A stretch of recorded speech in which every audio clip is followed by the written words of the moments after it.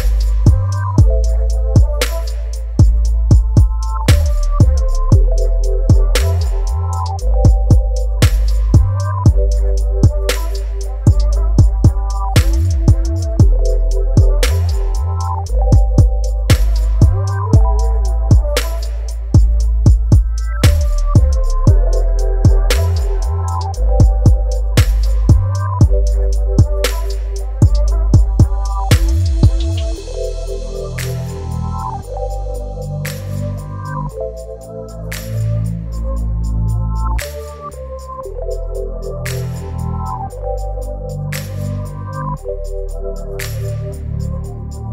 you.